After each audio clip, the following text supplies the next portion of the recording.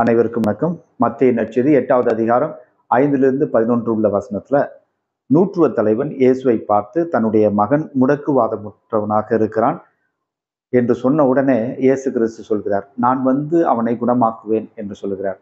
உடனே நூற்றுவ தலைவன் ஐயா நீங்கள் வரவே வேண்டாம். நீங்கள் ஒரு வார்த்தை சொன்னாலே போதும் அவனுடைய நோய் கண்டிப்பாக குணமாகும் என்று நான் நம்புகிறேன் என்று சொல்கிறான் அது மட்டுமல்ல என்னுடைய பணியாளர். எனக்கு கீழே நிறைய பேர் இருக்கிறார்கள். நான் சொன்னால் ஒருவன் போகிறான் சொன்னால் வருகிறான்.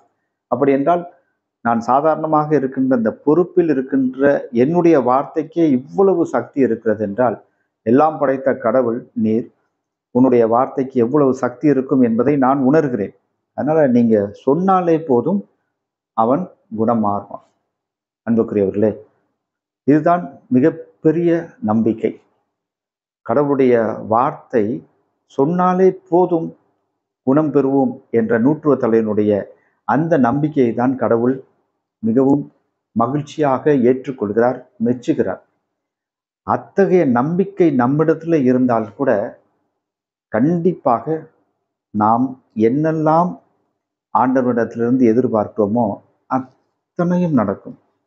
அதை நாம் உணர்ந்தவர்களாக இருந்தோம் என்றால் நம்முடைய வாழ்வு அற்புதமாக இருக்கும். அற்புதங்களை பார்க்கும்.